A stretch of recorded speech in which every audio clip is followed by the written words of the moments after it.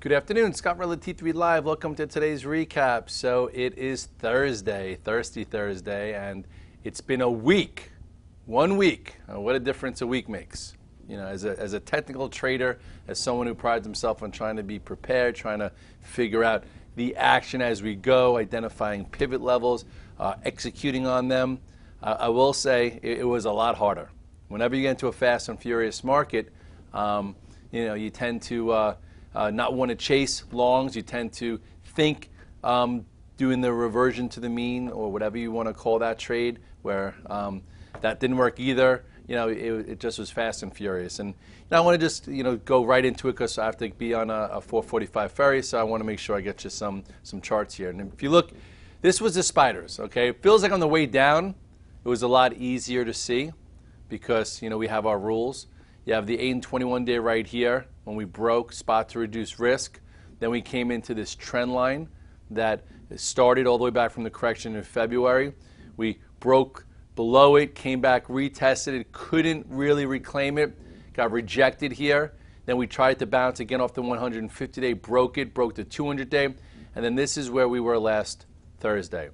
So this is what we knew after Thursday. Okay, so based on that, after a move from 2019 down to 1820, you had to say, let me cover some shorts into that capitulation volume if you were short, if you played that way, and look for some opportunities. The question is, what type of opportunities? What type of bounce? How is this thing going to work itself out? So, a few things. In my head, I'm like, okay, is this a dead cat bounce? Because everyone out there, you know who, saying this is going to be a dead cat bounce you know, if you're playing long, you're crazy, whatever, whatever, whatever. So anyway, you go to the Thursday the day after, which was right here. And I did get long on that Wednesday, thinking, okay, it's a reversal, let me try it. Next day, you open down, close strong. And that gave a little bit of the retest. Everyone thought we'd do a retest after these two days, but I was like, wait, maybe that was the retest there. So anyway, the question was, what was going to happen at the 200 day? Were we going to get below it and get rejected and be really feeble, or were we going to push through and fail and, and squeeze some shorts and bait in some longs, or we're going to reclaim the 200 day like we've, you know, which most sectors do if they're really strong and continue um, and, and, and not be the case. So, anyway, here was your next day. That was Friday, your gap up.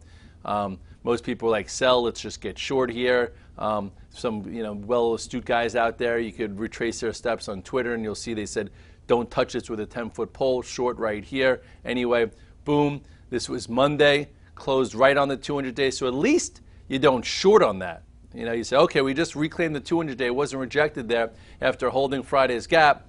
Maybe these things could at least get to 1920. Now, my thoughts were we get an overthrow to 1920, that they try and screw around with everybody, let the loans get a little bit, um, you know, more action here, and whether you played or you don't, because I was out of most of my stuff into this after trying to accumulate down here and, and then squeeze the shorts and, and, and get short there. And we all know what happened the day after that. You had a gap and go. We closed real strong and, and you know, got stopped out of my, uh, my short uh, trying it here. And, and that was very, that was not calculated. To, to just try into this resistance zone kind of made some sense, but not something that I typically do because you have no points of reference. And then you had, you know, that reversal yesterday, which um, which at that point made some sense, thinking maybe we could retrace a little bit, big time move, red dog reversal, great trading day yesterday, and then um, go out a third short, and then boom, we reclaimed this spot very quickly, and it wasn't fun. Okay, we reclaimed it, pushed above, and then today, right when we retested, okay, this broken trend line, right when we hit the 50 day, all of a sudden some news hit that that might be Ebola in New York City. Um, I don't know, I guess it was almost like a, a, a, movie. But all in all, you take that out of the way, and the, the market went up at like 90 degrees. And this was fast and furious. And if you were long, congratulations. If you sold a little bit into this, congratulations. If you got short against this, kind of makes sense, but you got to really, you know, want to be short. I know for me, it's hard to be short, but this day told me be short a little bit, and then I got out somewhere within the first 30 minutes, and then you know, later I felt good about it, and then once we came off, you know, we just started trading again. But you know, I'm not the net short type of guy. I like to be longs. I like to be in portfolio approach. You know, I've been pounding the table on Apple, on Baba for the last week. I've, uh, also Facebook, but unfortunately I haven't been in Facebook. It happened too quick. But you know, just to go over some stocks, you know, Apple still looks really good. You know, talked about this. Remember on earnings, I was like, um, I'm getting long. I wasn't long into earnings. I got long after earnings around 101. Now we closed pretty well here through the 52-week high. I think this can continue. Yes, it's a little overbought, so you don't want to be too big, but starting to break out. You go to the weekly chart, which doesn't show you overbought, shows you a nice wide range bar engulfing uh, two, three months worth of action that tells me it can go higher. And then you go to BABA, which we've been talking about. You know, BABA to butt was the call. While everyone was laughing about, about it and this and that, um, I, I made some money. I wish I could have made more because I just didn't, I don't know, just the way the week went, it was hard. Here was your red dog reversal. Here it pushed, held. Another nice trade above this spot right there, which was your 90-90 pivot, and now it closed strong. And chances are at some point it's going to be taking that out. I tried to show this chart a lot of different recaps, a lot of different times to add some value to you guys, showing you like what has happened with Twitter and what happened then because I lived through this. I lived through all the naysayers and um, meanwhile this was your overthrow to the downside when everyone said it was going to 25, came back up, quick little push. This is, could be where we are right now. and then you had a, a, an inside few days and then it took out the prior IPO high and then created a ramp up awesome trend that followed the eight day. So BABA right now um, is extended from the 8 and 21 days, so you don't want to be too big. But this to me would be a nice little inside move here, and at some point we get through there. And, and uh, uh all in all, so far a great trade. And hopefully you guys have been following and um, not just listening to the noise out there about the Ali blah blah, or whatever they call it. Um, Amazon, you know what? I was thank goodness I didn't just throw some money around because I was thinking that sentiment's been so bad around Amazon that maybe for the first time they come out and um, do something good. So after hours, if it happened, I would have been looking at it here and here. I did not take options into it, so I didn't throw away some money. But their quarter was bad, their guidance was bad, and you know the, the love affair of buying it on poor weakness has changed. They tried doing it here, they tried doing it here, and this trend has been lower. It's below all the moving averages. You have support at 284. You had your first level after hours that some people were trading against at 293. We'll see what happens in the morning, but all in all, bad. Microsoft was actually very impressive, a billion extra in revenues. Um, this has been in a, in a, good trend. Okay, look at the difference here. Look at the, this trend that's been up. Okay, broke a little bit below, but still above the 200-day, pop right back above it. It's going to be right back near the highs. Um, we'll see what happens tomorrow. But all in all, you know, look where this is above the 200-day, above all the moving averages. lots of institutional interest. Where Amazon below the 200 day, below the moving averages, not acting technically well. Whatever. Um, go into some indices. What did Russell do today? Still, you know, acting well. We talked about this little inverted head and shoulders pattern. Okay, and here was the break above the neckline, and it still uh, looks like it's going to continue into these moving averages. We'll see what's next. Um, what the fast do today? Banks did a bit of a topping tail. Um, I didn't really touch them today, um, but uh, who knows? You know, I, I, know a lot of guys went out short the banks um, overnight yesterday and got squeezed out today. If that's you, that just that's the way it goes sometimes. And you know, I personally think you know, just thinking about the conspiracy algos, computer theorists. Where I remember last Thursday, I was like, you know what? Um, I'm going to stay long because nobody wants to be long after what happened with the right trade being long Wednesday into Thursday last week, and then you got your gap up. Last night, the right trade was to be short a little bit, not you know all in short because we weren't in that type of tape where it was such an extreme, but first down day. So today, you know, they squeezed those guys, went into a bigger level, reversed off of it. So now nobody wants to be short, including me you know, I do have a short on the, with the spiders, but I'm net long as of now. So I'm just listen. If I had a hedge on and was net short last night, 1.3% lower, and now I'm net long, I better have a little bit of a hedge, and maybe it'll be easier to trade around it versus the the stutter step up, maybe two-way action. So at least uh, you can do both. So we'll see. Um, what else went on out there? Tesla, what are you doing?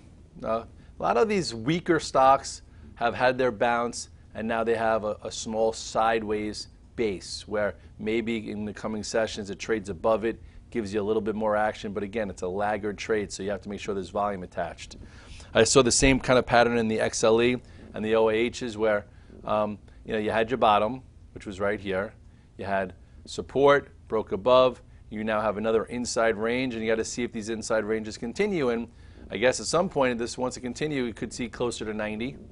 Um, but all in all, I told you the story about the guys on the boat, right? Last Wednesday, when everything was going nuts on the way in, they're like, "What do I buy, Red Dog? With nine and a half percent off the high." Da, da, da. I'm like, "Buy the XLEs," and um, both guys bought the XLEs. And then today on the boat, they're like, "Oh, Red Dog, you know, thank you. I owe you lunch." I'm like, "Oh, you still in them?" He goes, "Yeah, I haven't even looked. Where are they?" And he looked at his thing. Oh, great, nine percent higher. I'm like, "Damn it."